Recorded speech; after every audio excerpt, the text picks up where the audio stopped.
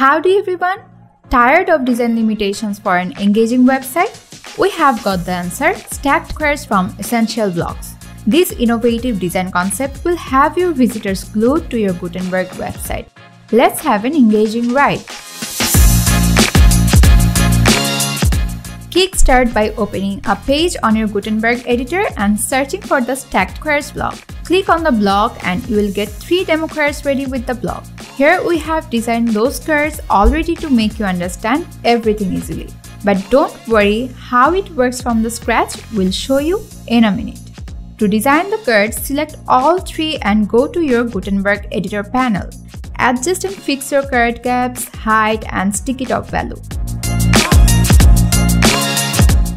Let's remind you if you missed the note. Whatever tweaking you are doing on the queries won't see any reflection of that in Gutenberg editor. Will only be visible to live preview mode.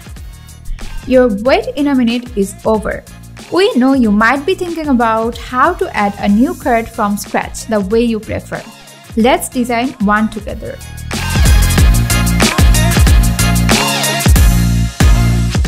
To make you easily understand, here we duplicate one of our existing cards, remove all the previous elements of it and take it to the top. First, let's design the new card by setting the color from the Style tab of the Gutenberg editor.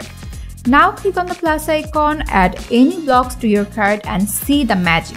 Yes, you got it. You can use any block from Gutenberg and Essential blocks to your new card. Now, how about just seeing not listening for a few seconds? We are going to design a new card to the stacked cards from scratch using multiple blocks.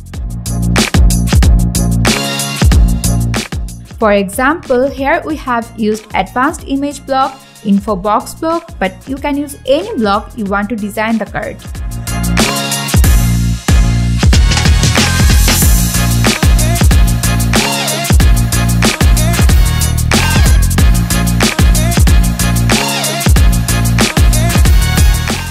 And here you go. The card is ready. Let's have a bird's eye view of the card before clicking on publish. Click on the view page to see stacked queries in action. How it enriches website design and reduces scroll time. Did this video leave you wanting more? If you're looking for more captivating videos like this, don't wait another second. Hit that subscribe button now. Thanks for tuning in and stay tuned for more.